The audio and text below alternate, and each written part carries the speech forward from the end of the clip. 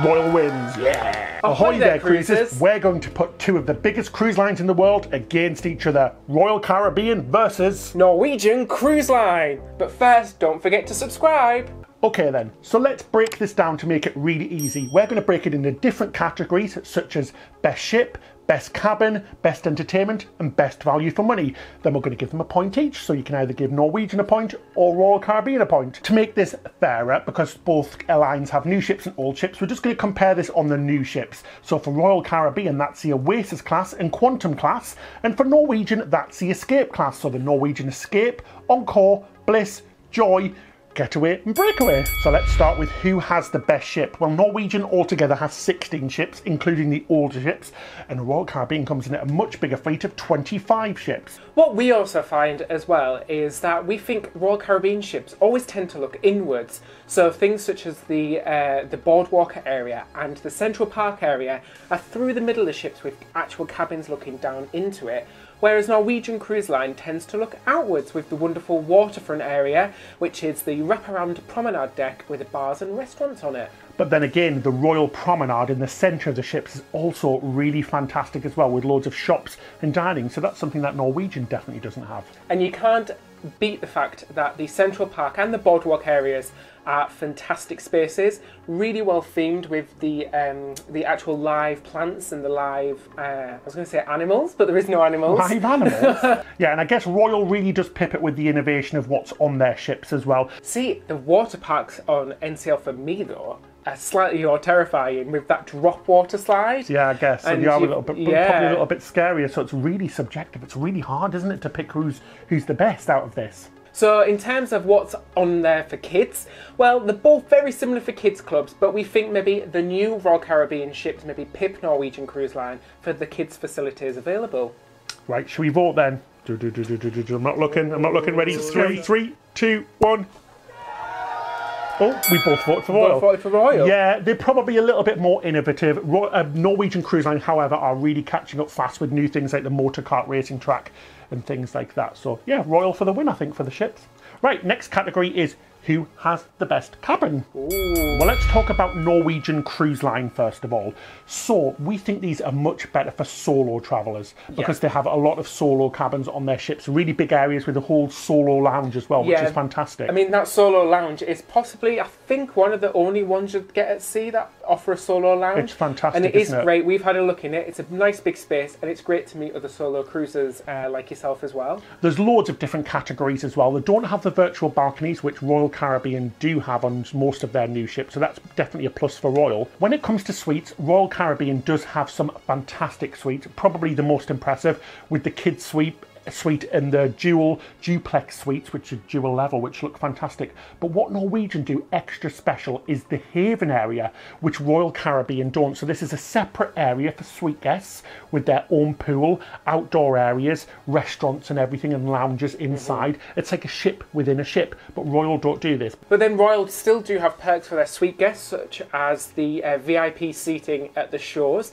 and the uh, restaurant that's just for suite guests as well. Plus the innovative Royal Genie, your personal butler that is supposed to anticipate your every needs. And you also get this on Norwegian as well with the concierge service. Mm-hmm. But when it comes to families as well, there's a massive range of cabins on both ships, but I do think Norwegian just pips it. They have some amazing family cabins which sleep up to like five, six people, and they have adjoining room cabins which are fantastic as well. But something Norwegian has as well is the spa suites that um, are a standard cabin but with access to the thermal suite on board and other spa like things like that. That's really good. So that's an extra added option for you for cabins. Should we have a vote? Let's have a vote. Two, Ooh. one. Norwegian. Norwegian, yeah, it has to be Norwegian for their for them catering for solo travellers and an amazing suite area with the Haven. Round three. So, which ships have the best entertainment on board? Norwegian Cruise Line has Broadway shows as well, as does Royal Caribbean Cruise Line. Yeah, so on Norwegian, you're going to find shows such as Rock of Ages, Kinky Boots, Jersey Boys, and Million Dollar Quartet. And on Royal Caribbean, you'll find the Broadway shows Mamma Mia, Cats, We Will Rock You, and Grease, and more. So I think they're, they're probably just about yeah. the same, aren't they? It's really tough to, to figure out which one's best. But then Norwegian Cruise Line has extra shows such as the Cirque show but these are an extra cost as well, which is a little bit, you know, you've, you've paid for your cruise and then it's an extra Yeah. cost on top of that. And Wine Time the Musical or something as well, Yeah. isn't it? I forgot what it's Happy called. Hour the Musical. Happy Hour the Musical, Wine Time the Musical. Yeah, they both have a really good selection of things like game shows and trivia during the day and evening as well. And what Norwegian do really well is having sort of comedy clubs on board, which are great. So Mm. they have some really good comedy clubs with visiting comedians and visiting acts. Same with Royal Caribbean as well. But I think Norwegian maybe goes a l- aims a little bit of an older audience with their deck parties, so like the white party and Oh, stuff. the, the deck parties are so fantastic. They're so much fun, Yeah. aren't they? They're really elaborate. So you've got glow parties, white parties, and themed parties as well. Really good stuff. So across the ships as well, you'll find loads of music with like live bands in the pubs and the bars and solo guitarists, all sorts going on. Yeah, and what Royal do really well as well is that they have two theatres on their newest ship, so on the Quantum class and the Oasis class. On the Oasis class, you have the amazing big theatre at the front showing those Broadway shows, and at the back, you actually have the Aqua Theatre where they put on spectacular aqua shows with amazing aerialists and things jumping in the pool. And obviously, on the Quantum class ships, you have the same theatre, but then you have the 270 at the back with the big robot moving arms and things, and those spectacular shows in there. So, shall we vote Time then? to vote. Let's pick three, two, one. Oh, I can see we picked the same you one. the same yeah, one? Royal Caribbean.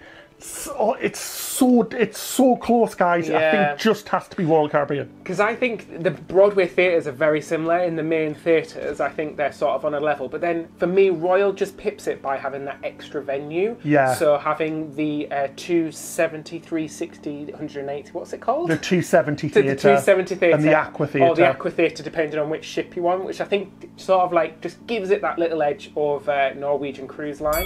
Should we have a go for the next round? Round number four. Round number four, let's take a look at who has the best activities on board. So let's look at some of the features on Norwegian cruise line ships so far. Well, on the newest ships, you have those amazing go karts, which are just fantastic, as well as uh, water slides, really thrilling water slides, climbing walls, child specific pools, laser tag, outdoor screens, uh, ropes courses, mini golfs, and fantastic themed parties. And on Royal Caribbean, you have the Dodgems, you've got the North Star, you've got the iFly, the Flow Rider. They've also got climbing walls and ice an ice rink on the ship as well, which Yeah. is also a laser tag arena. Yeah, when it comes to innovation, we reckon that Royal Caribbean are just pipping them out at the post, I think. Oh, let's go three, two, one. Oh, we thought the Royal again. Caribbean. Yeah, I think they just pipped them to the post. I mean, the iFly by Ripcord and the amazing Flow Rider, as well as like the North Star and the zip line and the Abyss slide. Yeah. Oh, I- I think they just pipped them to it, but Norwegian are catching up. So, should we do the next round, round number five? And it's a big one, guys. It's who has the best dining. Do you want to talk about Norwegians? So they have a freestyle dining concept, which means that you can dine wherever you want with total flexibility with no set time dining. You do need reservations, however, for the specialty restaurants, and there are plenty of specialty restaurants to choose from with tons of options from Italian to Asian to seafood and everything in between.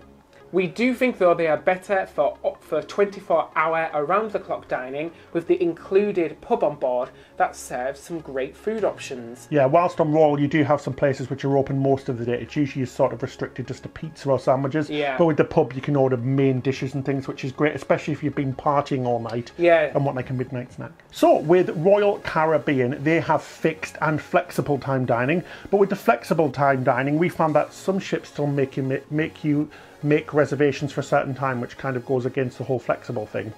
There is Yeah. a larger choice of speciality on the bigger and newer ships, and reservations are always required for specialty dining, just as Norwegian. But what we, what we really like about Norwegian is the alfresco options on the waterfront, so you're able to eat outside. You don't tend to be able to do this with the main specialty restaurants on royal ships, do you? So that's No. definitely a pip in Norwegian's cap. Should we vote? Three, two, one. Bing!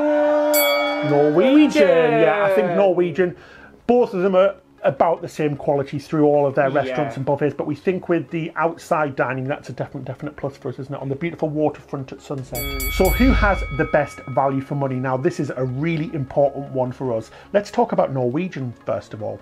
Well, lots of the restaurants and some of the activities are an extra charge just on both cruises. But what Norwegian do, which is fantastic, is continuously run their free at sea program. Now, this is where you can pick two or thing, two or three items completely for free. Usually, these include the drinks package, which is always worth the most money, a dining package, Wi-Fi, or on-board credit, where they give you some money you can spend on board. So while Royal Caribbean don't run the drinks promotion all the time, they do occasionally offer 30% of pre-cruise purchases before you sail, which you can use against the cost of a drinks package. And especially here in Europe, we've been looking at some of the prices of cruises, and because of this, Royal Caribbean do usually come in a little bit cheaper because I think uh, Norwegian obviously factor in the free at sea charge at the beginning. So Royal Caribbean don't have as many paid extras on some of their ships as Norwegian do, as all the entertainment, or most of the entertainment I should say, is included in the price of your cruise. And with Royal, you won't find as many discounts as you do with Norwegian um, when booking or extra offers like the ones that we mentioned earlier. Oh, it's a really tough one, this isn't it? Should we vote? Yeah. Three, two, one. Norwegian. Yeah, I think it depends depends on the where in the world you are, but I think Norwegian with their free at sea package is so fantastic. I don't think you can go wrong, do you? I know, and especially if you are a drinker and you do uh, enjoy and use the drinks package, it is going to be the best value for money. But if you are maybe travelling with a family who's going to be doing all the onboard activities, it could add up. So maybe Royal Royal's could be better, better. for you. Three, oh, so it's a tie overall, tie. which I think is a really. Fa- I think Yeah. that's quite fair because both of the cruise lines have massive downsides and have massive Yeah. upsides. I think if you just merge them both into one cruise ship, taking the best bits from Norwegian and the best bits from Royal Caribbean, could you imagine? It'd be fantastic. So an Oasis class ship with the waterfront and that amazing dining, oh, with the with the free at sea as well. Oh, And it's amazing! building cruise ships. I'm going to build a cruise ship. Ben Yeah. and David cruise ships Can you imagine? cruising the world. So, guys, that's it for this episode. Please give us a subscribe and hit that bell button so you're notified when we upload a brand new video. And if you'd like to support us further, please consider supporting us on Patreon. Big thank you to our cruise captains, Amy and Tris. Yep, so that's it till next time. Happy, Happy cruising. Dum, dum, dum, dum. Smackdown. It's, it is like bats, isn't it? Royal versus Norwegian. Bitch slap!